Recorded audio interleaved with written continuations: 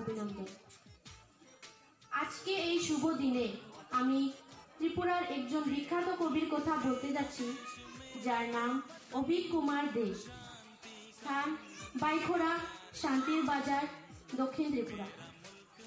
নিরন্তর কবিতা লিখে যাচ্ছেন দীর্ঘদিন ব্যাপী। বর্তমান ভারতবর্ষের ছবি নিয়ে উনার লেখা আমি বাহাত্তরতম প্রজাতন্ত্র দিবস উপলক্ষে পাঠ করতে যাচ্ছি। যে ভারত এখন দেখছি। এত সব জাতের ভাগ বয়ে জাতির মা। চোখের কাছে ভাগের বেড়া পড়েছিল বাঁকা চাঁদ, লাল সূর্য ভাগের আকাশে। চেনা মানুষ অচেনা হতে মসনদ ডিঙিয়ে অজস্র মিছিল। বেপরোয়া ঢল এদিক ওদিক। ক্ষুধার্ত মানুষের ফসল জলে তবুও এমন নীরবতা দেখিনি। যে ভারত এখন দেখছি অপরিচিতা। সময় গুনছে ঘোরবন্দি ক্যালেন্ডার মানুষ। বাইরে মৃতদের আদম সুমারি ধন্যবাদ।